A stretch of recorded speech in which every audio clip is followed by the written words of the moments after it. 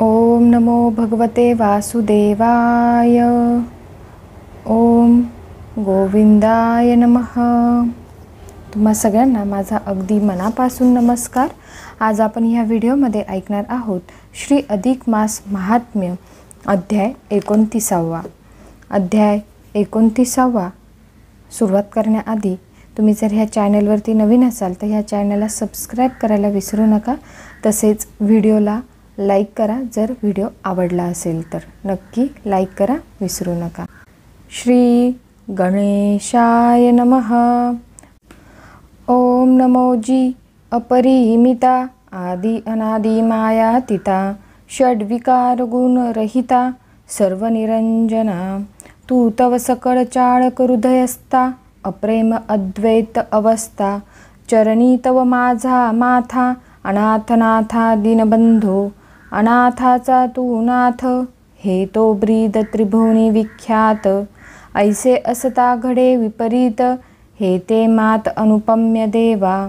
संसारी आमुची आपदा रोगे व्याप्त सकळ संपदा. कौतुक पाहसी गोविंदा हे तव ब्रिदा विलक्षण. दुर्जनी आम्हा ते गांजावे निर अपराधे क्षळावे ते तव तुवा अवलोकावे उचित केशवान शोभे. असो आमुचाची भोग पाही तुझवरी बोल ठेवूनी काही जैसे असेल माझे दैवी तेची पदवी सुखे भोगू. ऐका श्रोते हो समस्त स्त्री कृपाबळे हा ग्रंथ. संपूर्ण होऊ आला तेथ.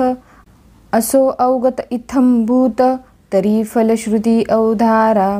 लक्ष्मी प्रतेवदे नारायण जे हे व्रत आचरण पूर्ण तरी बरवे की जे उद्यापन? न घडे तरी निर्फळ जाणी जे उद्यापन केलिया सकळ लाभे तयाचे पूर्ण फळ जैसे बीज पेरिता ऋषी वळ फळ लाभे राशीवर मग लक्ष्मी वदे हो जी स्वामी कैसे उद्यापन की जे आम्ही ते सकळ निवेदावे तुम्ही कैसा विधी ते समग्र ऐकून लक्ष्मीचे वचन बोलता झाला जनार्दन म्हणे ऐका हो एकाग्र मन अत्यादरे सुंदरी तुवा जे जे आम्हा प्रश्निले ते ते सर्वही निवेदिले. परम उपकारणीये भले बोल चांगले तुझे हे संपूर्ण मासवरी हे व्रत अथवा द्विरात्री त्रिरात्री आचरत किंवा एके दिनी आचरत तरी उद्यापन नेमस्त करावे. आता उद्यापन ते कैसे कीजे तेही सांगितो ऐकिजे संपूर्ण मास भरता जाणिजे. उद्यापन विधीयुक्त प्रातकाळी उठोनिया स्नानविधी नित्यनेम करुनिया देवदेवतार्चन क सारुनिया उपहरी. हे क्रिया आचरी जे आनुनिया कर्दळी स्तंभ. मंडप उभविजे सुप्रभ. गुढिया तोरणे उभवी नभ आणिक नानाविध वाद्येपै स्थापुनिया सर्वतो भद्र रंगमाळा चित्र विचित्र घालून की जे यंत्र विचित्र अतिसुंदर मध्यभागी तयावरी कलश स्थापुनी सुवर्ण प्रतिमा करुणी पुरुषोत्तम देवता म्हणून स्थापिजे ते स्थानी आदरे मग यथा सांग षोडशोपचारी पूजा कीजे अति आदरी गंध अक्षदा पुष्प सुवासितवरी परिमळ धुसरी अर्पावे नाना नैवेद्य पक्वान्न तांबूल दक्षिणा निरांजन वस्त्रे अलंकार अर्पुन मंगल आरती पैकी जे मग पाचारुणी ब्राह्मण सह दाम्पत्य असावी जाण तया पूजा करून वस्त्र अलंकार अर्पावे ऐसे दाम्पत्य त्रयत्रिणी दशक अक्षरे असावी तेही देख तया ते वायनादी जे प्रत्येक नाना प्रकारे सी जानपा तोही प्रकार सांगतो ऐक वंशपात्र सुपले प्रत्येक वस्त्रे तोरे फणी करंडक असावी देख गरसोळी ऐसे वायन विस्तारुनी दाम्पत्ये पूजावी वस्त्र अलंकारे करुणी सुवासित पुष्पमाळिका देऊनी अर्पावी दानी वायने मग यथा सांग ब्राह्मण संत अर्पण दाम्पत्यासहित करावे जाण षड्रस अन्न निर्मुन द्यावे भोजन ब्राह्मणाते संतुष्ट झालिया ब्राह्मण मी संतुष्टे नारायण ते तव माझे मुख जाण म्हणून आधी पूजावे वस्तू मात्र जितुकी विप्राते अर्पाल तितकी ते तो पावे मजनिकी जान लतिके शुभानने भोजन झालियावरी बरवे अलंकार भूसुरी देऊन दक्षिणासह परिवारी आशीर्वचना ते घेईजे आता ज्यांनी जो धरिला नेम त्याचा ऐके अनुक्रम. प्रातस्नाने करीती जे सप्रेम तेने गंगा पूजन करावे. वायनदान अर्पावे गंगेसी धेनुदान दिजे ब्राह्मणासी. सालंकार सवत्सेसी दोहन पात्रेसी अर्पावे.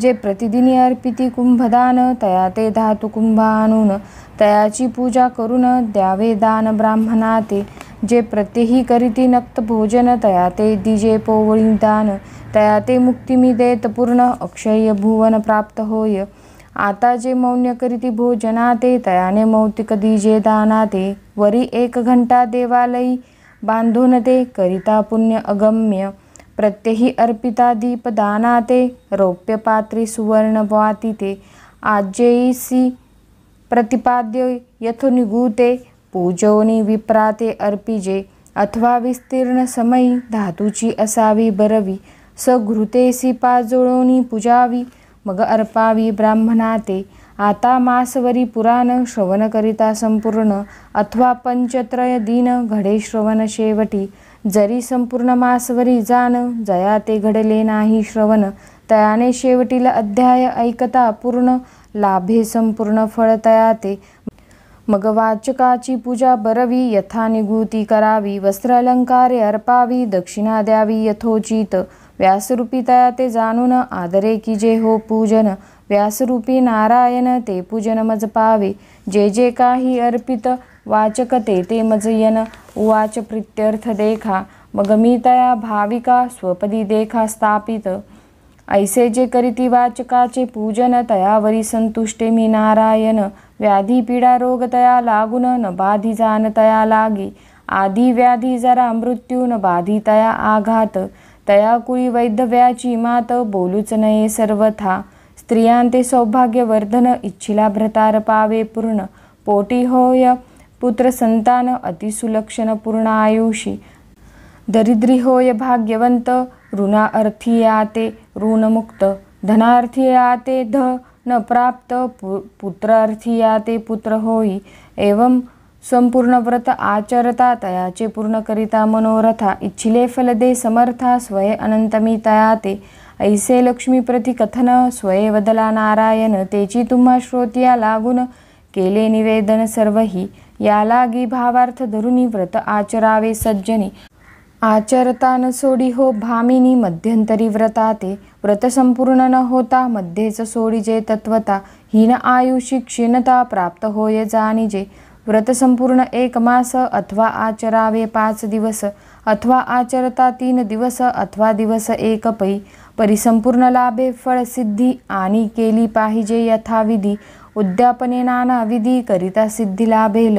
ते संसारी न भोगिती आपदा प्राप्त होय सकळ संपदा. स्त्रियांते वैधव्याची बाधा जगटेना कालत्रयी इति श्री अधिकमास महात्म्य ग्रंथ पद्म पुराणीचे संमत मनोहर सुत विरचित. एकोणत्रिशतितमोऽध्याय गोडहा इति एकोणत्रिशतितमोऽध्यायः येथेच एकोणतीसावा अध्याय समाप्त होतो. आणि पुढील अध्याय म्हणजेच तिसावा अध्याय आपण दुपारी किंवा संध्याकाळी मी अपलोड करणार आहे तर तुम्ही नक्की भेट द्या. भेटूया पुढील व्हिडिओमध्ये. तोपर्यंत ओम नमो भगवते वासुदेवाय. ओम गोविंदाय नमः. धन्यवाद.